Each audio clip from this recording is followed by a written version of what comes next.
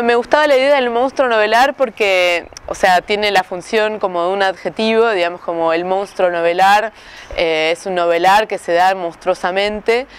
Y después como la idea justamente de que existe un monstruo que es novelístico, que es, eh, que es inhumano, que es ominoso, que actúa como más allá de lo que nosotros querramos o podamos decir eh, y sin embargo fascinante. Y después, bueno, las parodias y los parásitos porque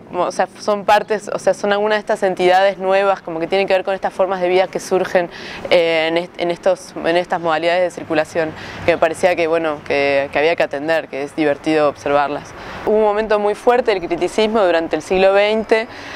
que de alguna manera... Eh, como fomentó una serie de discursos que los podemos ver, por ejemplo, como en torno a la idea de la muerte de la novela, toda una serie de muertes, digamos, como una especie de, no sé, eh, mm, como una inspiración funeraria, digamos, que había de alguna manera captado los ímpetus de la cultura. Y justamente, o sea, digamos, esto lo podíamos vincular como con cierto estado, ¿no? De, ciertas teorías como que permanentemente están buscando el límite, lo que llamamos criticismo, y, lo comparábamos como con otro momento que tiene que ver con un momento que vamos a llamar actual,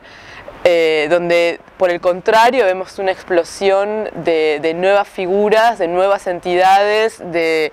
eh, de nuevas temáticas que me parece que están reclamando nuevas teorías. Entonces,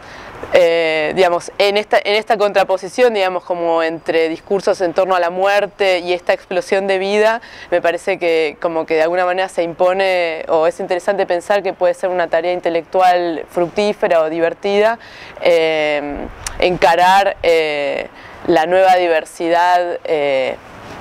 biotecnológica. Una de las ideas que a, mí me interesaba pensar era la manera en la que la viralidad termina construyendo obras de arte, la manera en la que la viralidad o sea, casi no se puede despegar y eso como de alguna manera implicaba naturalizar la idea de mercado y naturalizar como la relación entre, entre una audiencia y un artista que de alguna manera las teorías anteriores justamente por estar tan vinculadas con estas decisiones dicotómicas entre sujetos y objetos, eh, digamos, hallaban problemática. Como que de alguna manera justamente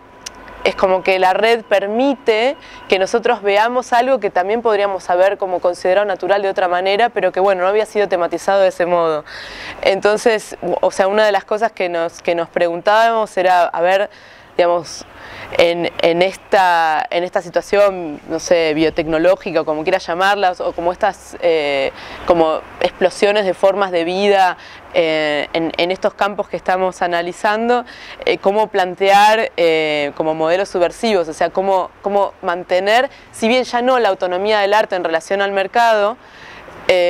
sí, o sea, como de pensar de qué manera es que digamos, el, arte sigue siendo fundamental eh, en términos de algo que sea más que un comentario y que una crítica a un sistema, algo que digamos que tenga una potencia subversiva como real y concreta. Me parece que a, ver, hay como una especie de avance de un autor para una novela que no es humana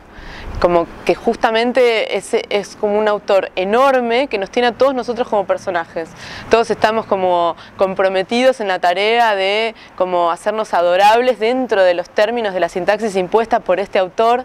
y de alguna manera es como, o sea, pensaba en, algo que había dicho un, eh, uno de los directivos de Google, que de alguna manera algo que como digamos que lo que habíamos conversado con vos Adriano había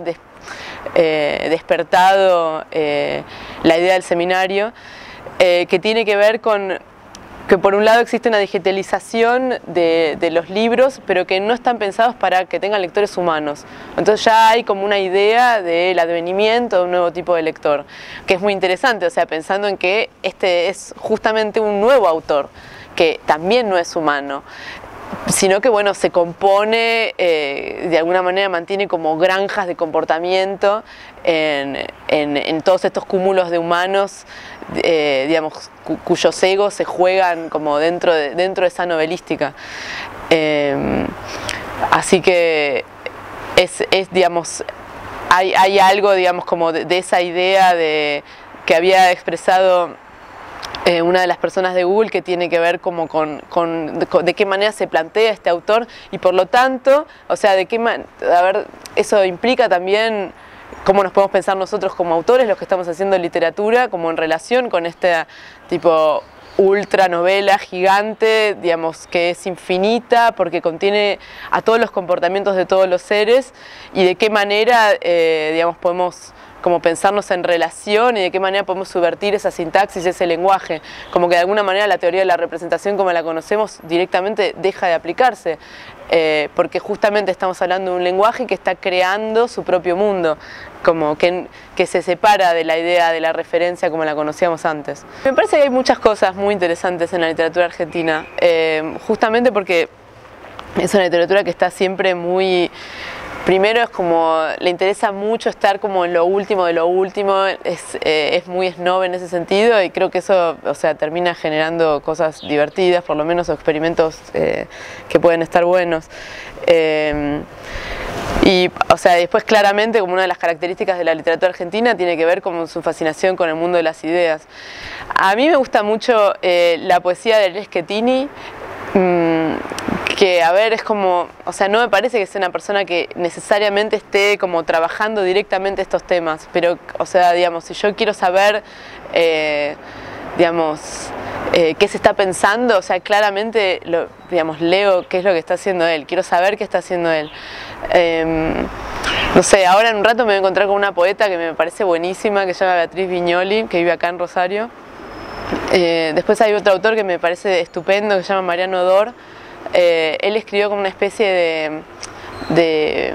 naranja mecánica porteña, como con un lenguaje medio inventado, eh, bueno, situaciones de, droga y marginalidad muy divertidas. Eh, y creo que ahí, digamos, hay un trabajo